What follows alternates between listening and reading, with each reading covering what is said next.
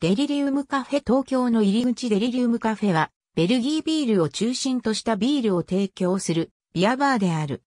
名前の由来は、店舗の入り口にある飾りと同様に、ピンクの像のシンボルを持つデリリウムトレメンスというビールである。デリリウムカフェは、ベルギーにある本店の他に、スウェーデン、イタリア、フランス、日本に店舗を持つ。ベルギーのブリュッセルにある店舗は2000銘柄以上のビールを置いている。2004年には販売しているビールの銘柄数世界一としてギネスワールドレコーズに認定された。このバーは60以上の国とベルギーの広範囲のビールを提供している。グランプラスから2300メートルばかり離れたインパスデラフィデリーテという小さな路地にあるが他店と比較して価格設定が比較的高めである。また、グランプラスから当店に行くまでの通りでは呼び込みが多いため、日本人観光客は注意する必要がある。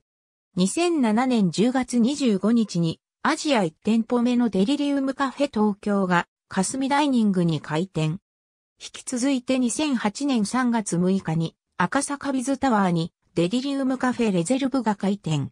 ベルギービールのビアフェスティバル、ブリュセレンシスビアフェスティバルを主催。ギネスブックに認定されるベルギービールの聖地が日本へ、ハットエビー、ビールの国のビアパブへ。自由人2008.9新、ビール等宣言。カラット、2008年9月1日、81ページ。A 新 B001 セディ4 http コロンスラッシュスラッシュ www.anesthesic.b スラッシュテリリウムスラッシュイムグギネス .jpg 霞ダイニングありがとうございます。